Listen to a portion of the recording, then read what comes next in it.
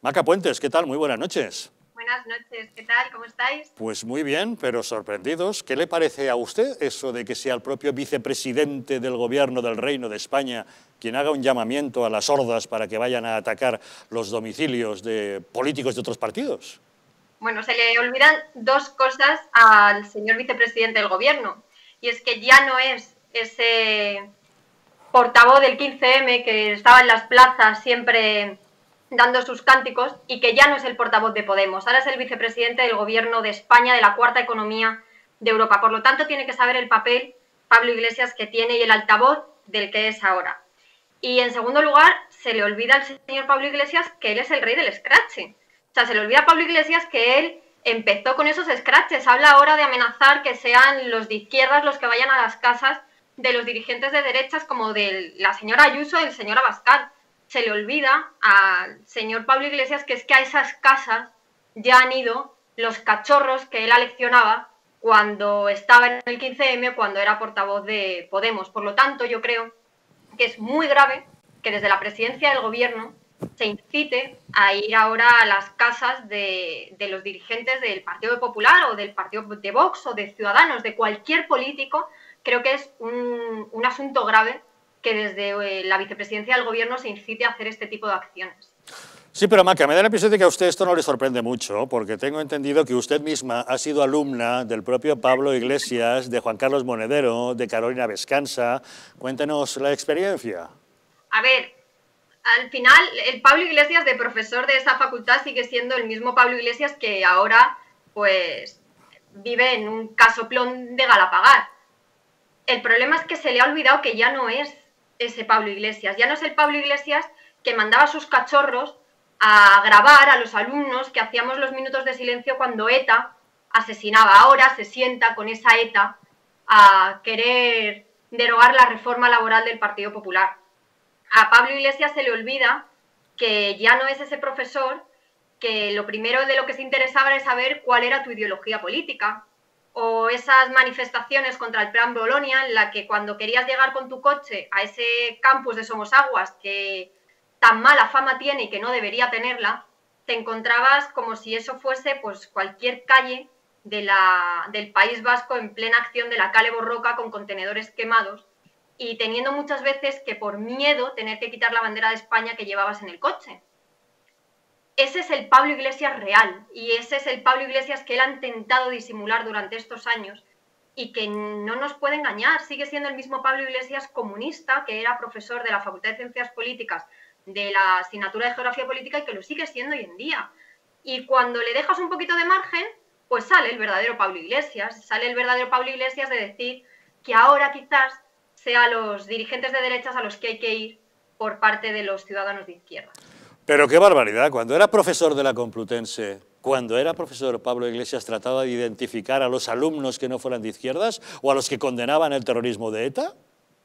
Bueno, a ver, al final es una era la Facultad de Ciencias Políticas. Es verdad que si no hablábamos de política nosotros era muy difícil, pero, pero sí que es verdad que yo recuerdo haber tenido que hacer votaciones a los departamentos de facultad o haber hecho elecciones a los propios rectores o al propio decano de la facultad y te tenías que meter en los típicos cubículos para poder votar y ahí te estaban espiando a ver qué papeleta cogías. Y eso estaba leccionado por Pablo Iglesias y por su asociación de contrapoder, que no se nos olvide que ahí estaba metido Juan Carlos Monedero, estaba metido Jorge Bestringe, estaba metida Rita Maestre o el propio Iñigo Guerrejón. O sea, no, no nos pueden disfrazar ahora lo que no es. Ellos son eso, ellos son los reyes del scratch, ellos son los reyes de, ir contra lo que no piensan como ellos. Bueno, pero menuda, menuda época divertida pilló usted en la Complutense. Tengo entendido que hasta fue testigo directo del asalto a la capilla de Rita Maestre, ¿no? Sí, de Rita Maestre, es verdad. Ahora, ahora me tiene bloqueada en Twitter, ¿no? No entiendo por qué en ese momento, que, que compartimos ese momento de facultad, pero me tiene bloqueada en Twitter. No sé qué le, qué le habré hecho a Rita Maestre, pero me ha bloqueado en Twitter, la verdad esa, Rita Maestre que luego cuando llegó el juicio resulta que no se acordaba de nada de lo que se había coreado allí. Me imagino que usted sí tuvo ocasión de oír todos los eslóganes que corearon. Yo me acuerdo perfectamente de, los eslóganes que iban gritando, de aquellos famosos arderéis como el 36, esos famosos Madrid será la tumba del fascismo. Yo creo que Madrid es libertad y que Madrid no va a ser la tumba de nada, sino que Madrid lo que es es libertad y, se han equivocado de siglo, de año. Yo creo que, que no saben ya ni en qué año están ni en qué siglo están. Bueno, ya que es usted coordinadora del PP en el barrio de Salamanca, cuénteme, ¿el suyo es el barrio de los pijos que se manifiestan con palos de golf o, no es lo que dice Rufián? Pues mire, eh, no, eh, precisamente Rufián no creo que venga a darnos lecciones. Hoy precisamente hemos sacado un vídeo desde el PP del distrito de Salamanca eh, diciendo que en este distrito pensamos de maneras muy diferentes, somos muy diferentes y el mejor ejemplo es el mío. En mi vida he jugado al golf, como me oiga el alcalde de Madrid a decir que cómo es eso, pero yo en mi vida he jugado al golf, vivo de alquiler en un piso de 40 metros cuadrados, he ido a la universidad pública, por tanto ese pijo que quieren sacar de la calle Núñez de Balboa, pues en la calle Núñez de Balboa vive todo tipo de gente en el distrito de Salamanca, eh, tienen que conocer el distrito de Salamanca. Evidentemente en el distrito de Salamanca vive gente en la calle Serrano, pero el distrito de Salamanca va mucho más allá de la calle Serrano y esa es lo bueno que tiene el distrito de Salamanca. Y, bueno, pues han querido dar una imagen totalmente equívoca. Yo ahora lo estamos viendo, empezó en Nuño de Balboa, pero Moratalaz, Alcorcón, Fuenlabrada. Eh, yo soy de Sevilla y estoy viendo como en barrios de Sevilla que no son los remedios, están saliendo los sevillanos a manifestarse. Y me imagino que será en toda España. Eh, en todos los barrios, en todas las ciudades, hay gente con negocios. En Fuenlabrada, en Alcorcón, en Getafe, hay gente con negocios. Gente que necesita levantar el cierre de su casa y ponerse a trabajar ya. Esos no son pijos del distrito de Salamanca, son trabajadores que se levantan cada día a intentar que el gobierno al menos le pague los SERTE, que ahora ya les ha dicho que el 10 de junio, por lo tanto, mm, son gente enfadada, cabreada con este gobierno que era el de la gente y que a quien ha abandonado es a la gente. pues a ver si pueden retomar esa actividad que han dejado parada durante casi tres meses.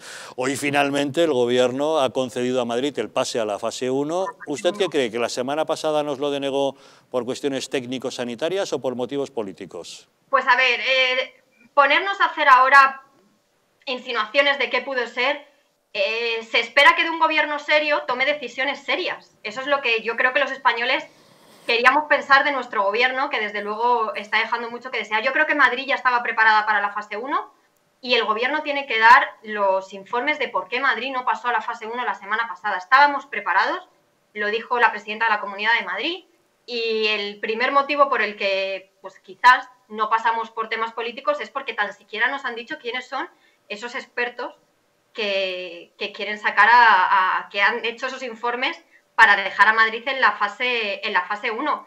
El señor Almeida se ha hecho con un grupo de trabajo para reactivar Madrid y claramente ha dicho quiénes son esos expertos, quiénes son esos grandes empresarios que van a reactivar la ciudad de Madrid. Pero Maca, ¿por qué Pedro Sánchez está tan obsesionado en contra de Isabel Díaz Ayuso? Yo creo que más que, bueno, sí, contra Isabel Díaz Ayuso porque le ha plantado cara lo primero. O sea, yo creo que la presidenta de la Comunidad de Madrid ha plantado cara al despropósito de Pedro Sánchez contra Madrid. El Partido Socialista cada vez que gobierna España va contra la Comunidad de Madrid. No sé si es que siente envidia de las políticas que aquí tenemos, porque tenemos libertad, porque aquí eh, la economía, somos el motor de España. ¿Qué pretendían? ¿Qué te pretendía Pedro Sánchez con esto? Parar el motor de España. Madrid siempre sale de cualquier circunstancia y después de dos meses parados volveremos a salir de este parón que hemos tenido y volveremos y seguiremos siendo el motor de España. Yo creo que Pedro Sánchez se equivoca porque creo que tenía que ir de la mano de las comunidades autónomas, no ha ido de la mano de las comunidades autónomas y se ha equivocado yendo contra el motor de España. Si lo ha hecho por motivos políticos, eh, hay que recordarle que él es el presidente del gobierno y que Madrid es la comunidad donde está la capital de España. Y desde luego, otra cosa, provincia que él representa porque fue candidato por Madrid. Por lo tanto, entre él y el señor Simancas, creo que la lista del Partido Socialista al Congreso de los Diputados deja bastante que desear en la defensa de los madrileños por parte de sus diputados nacionales, la verdad. Pero bueno, ya sabe usted que Pedro Sánchez, para tapar la propia inoperancia de su gobierno, le está echando la culpa siempre a otros. Y respecto al caso de Madrid en concreto, dice que ha tenido muchos infectados porque, como claro, el PP recortó inversiones en materia de sanidad, cuando tengo entendido que en los últimos 10 años es cuanto más hospitales y centros de salud se han abierto en la Comunidad de Madrid. Pues sí, la verdad es que no sé qué hubiésemos hecho sin todos los hospitales que durante la época de Esperanza Aguirre y tantos centros de salud se construyeron durante la época de Esperanza Aguirre. Por lo tanto, pues de recortes, que no hable el señor Pedro Sánchez que votó para recortar en sanidad y que no hablen del tema tampoco, por ejemplo, de las residencias, donde, en fin, la ley de dependencia de Zapatero creo que es bastante clara con este tema. Yo creo que a Pedro Sánchez empezó siendo bueno y se le han olvidado que en este país llevamos casi 30.000 muertos y que tiene que empezar a pensar que hay 30.000 familias que ni se han podido despedir de sus familiares, a las cuales desde aquí quiero mandar mi reconocimiento y mi afecto, porque no se lo deseo a nadie haber tenido que enterrar a un familiar en las circunstancias en las que 30.000 familias lo han tenido que hacer en estos momentos. Y, bueno, pues el señor Pedro Sánchez tendrá que darse cuenta que es el presidente del gobierno de España. Yo sé que esto le ha venido muy grande, que él venía a dormir en un colchón y se ha encontrado con una pandemia a nivel mundial que cuando se lo estaban avisando, él decidió no pararlo a tiempo para continuar con sus proyectos, al menos hasta después del 8 de marzo, claro. Maca, ya que estamos charlando, no quiero desaprovechar la oportunidad de preguntarle, ¿qué le parece que ahora Pedro Sánchez haya decidido ir de la mano de Bildu? He visto que usted misma en Twitter decía algo así como, ¿dónde están los socialistas de toda la vida que no se rebelan contra este pacto con el diablo, no? Correcto, ni uno, 24 horas. Fui, fui maja y di 24 horas para ver si había un solo socialista que condenase lo que Pedro Sánchez ha hecho no solamente a España, sino a su propio partido. Él desde el lunes sabía que este pacto iba a existir y se lo ocultó a sus propios ministros y a su propio partido. Me parece una auténtica vergüenza que el Partido Socialista, un partido con 141 años de historia, que tanto últimamente están sacando en Twitter esos hashtags de 141 años de historia, la manchen eh, poniendo su logo al lado del de Bildu. Un partido que no condena el terrorismo, un partido que sigue mm, defendiendo lo que hizo ETA, un partido que tiene 11 de sus miembros asesinados por ETA y casi mil españoles. A mí me daría vergüenza ser del Partido Popular si hoy mi presidente hubiese pactado con Bildu. Entiendo que habrá socialistas que se sientan defraudados, pero tienen, tienen que decirlo. el Partido Socialista no se puede quedar con la imagen de, de, que pactan con Bildu y aquí no pasa nada. A mí me daría vergüenza ser socialista, pero bueno, entiendo que mientras que ahora la secretaria general del PSE mm, dice que no podría formar un gobierno con quien le hace scratches en su domicilio, el cual condeno, eh, hace unos meses se sentaba en la misma mesa a cenar haciendo un reportaje con el señor Otegui. El señor Otegui es el mismo que manda a sus cachorros a pintarle hoy su casa que el que hace unos meses se sentó eh, con la señora secretaria general del Partido Socialista de Euskadi. Por lo tanto, Pedro Sánchez tiene que, él tiene que elegir. Hoy nos ha culpado el Partido Popular. Mire, no, los votos le salían sin Bildu. o sea, que, no engañen a los españoles, los votos le salían sin Bildu. Por lo tanto, pacta con Bildu porque se ha querido sentar con Bildu. Ya nos enteraremos por qué. Si en algún momento este partido es transparente, nos dirá por qué se ha sentado con Bildu. Pero desde luego, para la democracia española es una vergüenza que Bildu esté sentada en el Congreso de los Diputados. Y es una vergüenza, desde luego, que se pacte derogar una reforma laboral tan importante para los trabajadores de este país eh, con un partido que a día de hoy sigue sin condenar el asesinato de casi mil españoles que lo único que hicieron fue defender la democracia, la libertad y esta nación. Por lo tanto, como socialista, si yo lo fuese, que no lo soy ni lo seré, a mí me daría vergüenza ser socialista a día de hoy. Bueno, pues va a tener que dejarles más de 24 horas, a ver si algún socialista un poco razonable levanta la voz. a ver si es que se creen que en la fase cero no pueden salir a protestar por eso, les vamos a dejar la fase 1 que empezamos en Madrid el lunes, a ver si así salen, porque desde luego en la fase 1 en Madrid no han salido. Veremos si en la fase 1 se deciden. Maca Puentes, secretaria de Estrategia Digital del PP de la Comunidad de Madrid, muchísimas gracias por haber atendido la llamada de los intocables. Espero que estéis todos bien y seguro que pronto nos podremos ver todos en plató y que, bueno, pues agradecer a los servicios esenciales de, toda España que han estado al pie del cañón y que somos un gran país, que saldremos y, y, bueno, pues que adelante y que poco a poco volveremos a retomar nuestra vida cotidiana. Eso esperamos, Maca, esperamos verla aquí en los estudios de Distrito Televisión. Muchísimas gracias. Gracias, hasta luego. Hasta luego.